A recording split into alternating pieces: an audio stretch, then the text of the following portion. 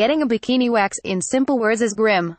Nobody ever skips into a bikini wax ecstatic to lie down on the table and have their vagina pulled and ripped it for 20 minutes, but look, we do it, and if you have never done it before but you're thinking about popping your vajayjay wax cherry, then here are some things you need to know. I think I was 19 years old when I had my first wax down there, I was the last of all my friends to get it done and tbh I was petrified. I wasn't scared of the pain, I was just scared of the mortification of stripping down and spreading my legs to a complete stranger, which is natural.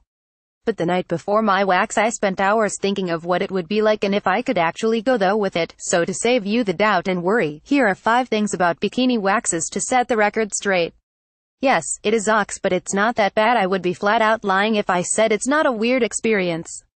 Of course, it is. This is not something you do on the daily but trust me, beauticians make you feel so at ease and nearly all of them give you a disposable knickers to pop on and they leave the room while you change so you have a moment to get yourself ready and hop up on the table before they come back and making it way less awkward and giving you time to prepare.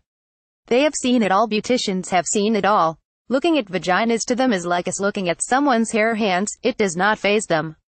The last beautician I was at told me that she waxes on average 30 vaginas a week.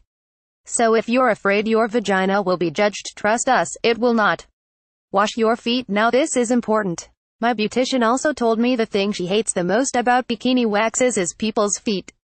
She said that people spend so much time cleaning their lady parts ahead of a wax they often forget that it's their feet that spend most of the time in the beautician's face and smelly socks are a no-no. Note to self, wash your feet. Yuck. You can say stop sometimes depending on where the beautician is waxing. It can hurt particularly the base, so feel free to ask your beautician to stop for a moment or take a little break if the pain is too much. Everyone experiences pain differently and they will be happy to stop if it is too much. It is a common thing people ask so don't feel embarrassed. There might be irritation afterwards if you're looking a little raw after the wax. Don't feel scared. This is so normal and to be expected. You can reduce the irritation by avoiding hot baths for 24 hours, staying out of the sun at least for the day, and staying away from putting any scented creams or tan on the area. Also, don't book your wax the day before you are heading away and you will be fine. Give yourself time for the redness to go down. Remember, you got this girl.